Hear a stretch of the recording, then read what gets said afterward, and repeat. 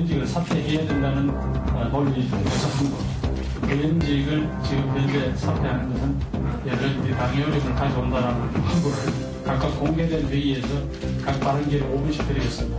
에, 저도 개인적으로 본다면 참 이건 어려운 문제라고 생각을 합니다.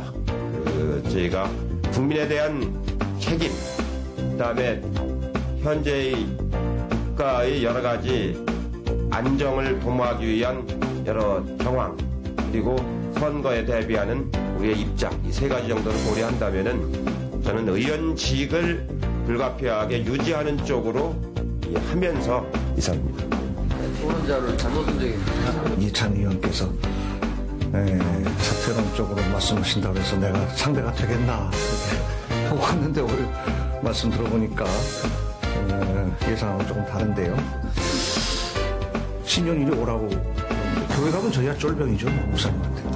어, 저를 포위, 포위했어요 목사님 포위하더니 당신들 그 저 사퇴 얘기하는 모양인데 큰일 절대 하지 마. 지금 뭐이 사람들이 왜 이렇게 세상 모르고 이런 날뛰냐. 뭐 굉장히 꾸지람을 받았습니다. 당신들 멋대로 하냐? 국민 여러분, 저희는 오랜 고민 끝에 의원직 사퇴 의사를 철회하기로 결정했습니다. 여러 이유가 있고 저희 나름의 사정도 있습니다만 어떠한 말로도 약속을 지키지 못한 부끄러움은 덮어질 수 없습니다.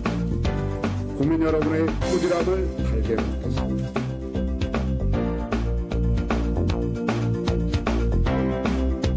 노 대통령의 국민 기만극과 한치도 다르지 않는 열린당의 대국민 사기극 의원직 사퇴 쇼를 더 이상 보고 싶지 않습니다.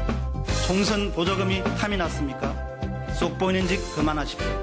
눈물은 왜 안 흘리고 또 몸부림은 왜 안 치고 그렇게 죄스러운데 애국가는 왜 안 불렀습니까?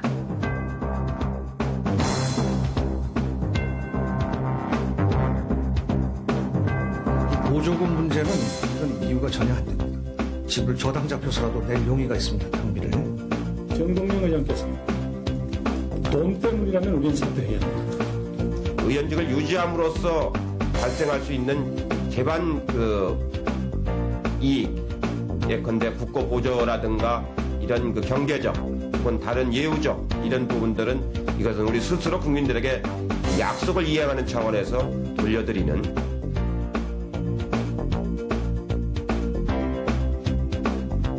배신하는 바람에 제가 다섯 살이 되지 않았습니다.